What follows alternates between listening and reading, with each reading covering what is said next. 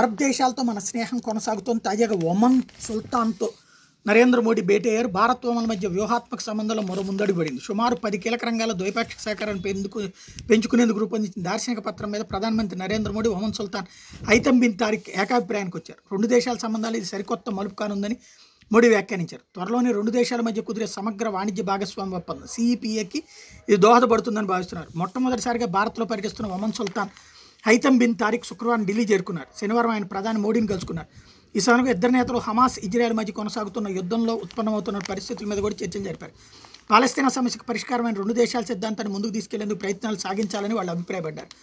ఇద్దరు నేతలు ఒమన్ భారత్ సంయుక్త పెట్టుబడి నిధికి మూడో విడతగా రెండు వేల ఐదు వందల కోట్లు సమకూర్చామని ప్రకటించారు. ఈ మొత్తాన్ని భారత ఆర్థిక వ్యవస్థలో అత్యంత వేగంగా అభివృద్ధి నమోదు చేసుకున్న రంగాల్లో పెట్టుబడులుగా వినియోగిస్తారు.